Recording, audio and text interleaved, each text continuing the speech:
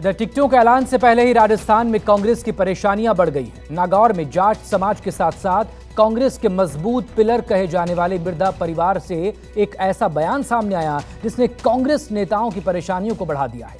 दरअसल पार्टी के वरिष्ठ नेता और पूर्व विधायक रिचपाल मिर्धा ने बीजेपी के टिकट पर चुनाव लड़ने के लिए तैयार ज्योति मिर्धा के पक्ष में प्रचार का ऐलान कर दिया है। रिचपाल की माने तो ज्योति उनकी भतीजी हैं।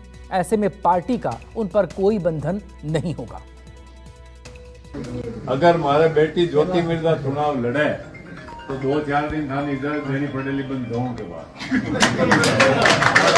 है हमारे पार्टी पार्टी की बंदिश नहीं है। मैं बस खुल्लो हूँ थानी तरफ़ लियो। कांग्रेस के कद्दावर नेता और मिर्धा परिवार के सदस्य रिशपाल मिर्धा ने जब खुले मंच से ये बयान दिया नागौर से मारवाड़ तक खलबली मच गई। जयपुर से दिल्ली तक हलचल हुई कांग्रेस की बेचैनी बढ़ गई। लेकिन